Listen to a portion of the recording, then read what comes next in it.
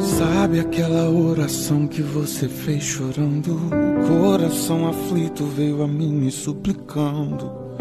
Eu te ouvi, eu te ouvi. Disse que não aguentava mais. Me perguntou se eu havia deixado para trás. Eu te ouvi, como eu te ouvi.